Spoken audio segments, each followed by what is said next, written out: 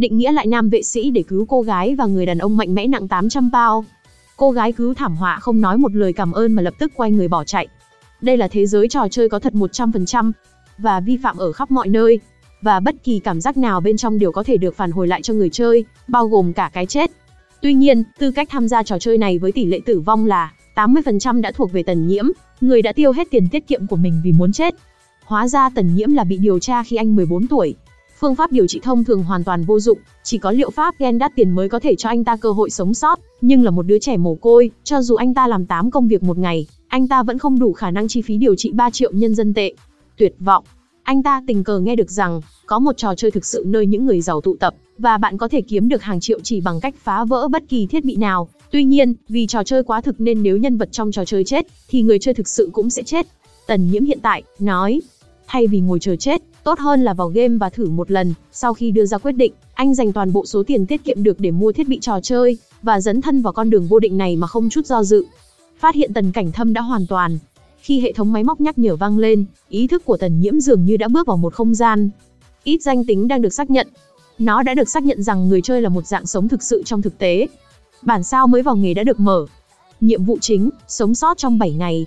Nhiệm vụ trực tiếp, giải cứu nhiều thường dân hơn cho đến khi chiến tranh kết thúc. Tần Nhiễm còn chưa đọc xong hàng trăm chữ giới thiệu, tầm mắt đột nhiên tối đen, toàn thân như rơi từ độ cao 10.000 mét xuống. Hắn đột nhiên xuất hiện trong một căn phòng bừa bộn, Tần Nhiễm xoa xoa đầu choáng váng, sau đó ngửi thấy một cỗ mùi nồng nặc khó chịu, hắn khẽ mở mắt. Tần Nhiễm phải chỉ vào hai chân sau của mình. Đây vẫn là một trò chơi à? Điều này quá thật đối với bạn phải không? Một cảm giác buồn nôn mãnh liệt cứ ập vào cổ họng Tần Nhiễm. Cuối cùng, anh không thể nhịn được nữa và nôn mửa dữ dội. 5 phút sau, Tần Nhiễm nhẹ nhàng lau đi, tôi lau vết cặn trên khóe miệng, trong lòng cảm thấy kinh hãi.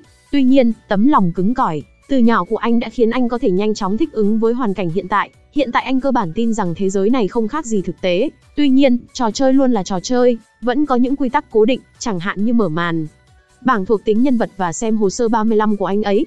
Người quả thực so với pháo hôi còn kém hơn, nhưng bởi vì là trò chơi, thi thể bình thường rơi ra trang bị cùng kim tệ, tần nhiễm đè xuống trong xương cốt buồn nôn, bắt đầu đào ba lô trên người người chết, hai hộp lon và một bình nước đều là những điều đơn giản, không gây khó chịu. Nhưng cuối cùng, tôi cũng tìm được một thanh đoản kiếm để tự vệ, có vẻ như việc có được trang bị mạnh mẽ trong làng mới vào nghề là điều không thực tế. Ngay lúc anh chạm vào thanh đoản kiếm, một cột thuộc tính vật phẩm xuất hiện trước mặt Tần Nhiễm. Anh ấy phát hiện ra rằng thiết bị này thực sự có thể được sử dụng. Mang ra một bản sao. Điều này có nghĩa là anh ta có thể kiếm được những thứ tốt trong ngục tối, và mang chúng ra ngoài để trao đổi. Sau đó anh ta tìm thấy một cuốn nhật ký ghi lại một số thông tin về ngục tối, ở đây quân nổi dậy và côn đồ ở khắp mọi nơi, và càng nguy hiểm hơn vào ban ngày và ban đêm. Bởi vì bất kỳ ngôi nhà nào cũng có thể trở thành mục tiêu truy lùng của bọn côn đồ, và những góc tối trong cống rãnh tương đối an toàn hơn. Tần Nhiễm đã thu dọn những món đồ lấy được, và anh phải tìm một nơi ẩn náu để ở khi trời vẫn còn tối. Đúng lúc anh đang định mở cửa thì ngoài nhà vang lên giọng nói của một người phụ nữ, đi đi, đừng qua đây. Sau đó, cửa bị gõ, một cô gái tóc dài mỉm cười bước vào nhà. Bên ngoài có chuyện gì vậy?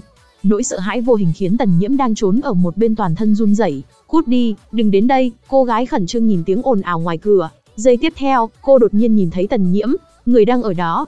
Trốn đi ngay khi Tần Nhiễm bị phát hiện trong sự khó chịu. Nhưng cô gái đó hoàn toàn không để ý đến cô, vừa rồi cô không nhìn thấy anh sao? Lúc này, Tần Nhiễm rất bối rối, "Này, anh xem em muốn đi đâu?" Anh nhìn thấy một nam tử cường tráng cầm một con dao làm bếp khổng lồ đẩy cửa vào, gãi nó cu cu. Cái này hoặc ít nhất là một thân hình to lớn nặng 800 cân, nếu phát hiện ra cô ở đây thì đang theo nhịp làm bạn tâm tình, không biết một tân binh mới vào game có thể đánh bại được Trang Hàn này hay không? Người phụ nữ dường như đang cố tình thu hút Vô Ngan. Đây là cho hắn một cơ hội sao? Tần Nhiễm tay trái cầm đoàn đao không ngừng run rẩy, đang do dự, lại nghe thấy cô gái bất lực kêu lên, không làm thì không phải đàn ông. Tần Nhiễm dừng lại, nghĩ về điều đó cầm một thanh kiếm ngắn trong tay, anh ta lao về phía trước trong mồ hôi. Với cảm giác nguy hiểm của mình, Trang Hàn lại cảm nhận được có người đang tấn công sau lưng mình, cô nghiêng người né tránh lưỡi kiếm ngắn của Tần Nhiễm, đồng thời gây ra một đòn vốn nhắm vào phía sau. Đáng chết, hắn còn không đánh trúng điểm yếu, Tần Nhiễm biết mình công kích không thể dừng lại, nếu như chờ Trang Hàn phản ứng lại bắt đầu đánh trả, rất có thể sẽ bị liên tiếp đánh trúng, cho nên hắn cũng làm theo.